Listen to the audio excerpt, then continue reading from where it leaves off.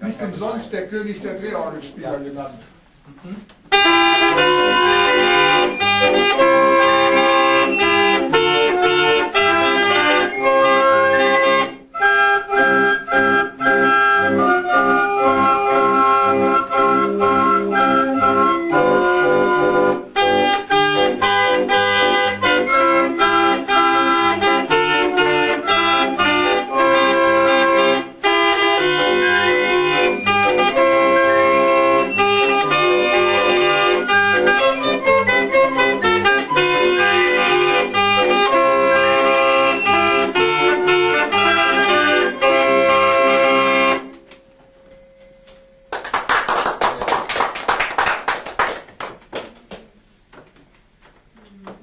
hier darf ich sagen, dass ich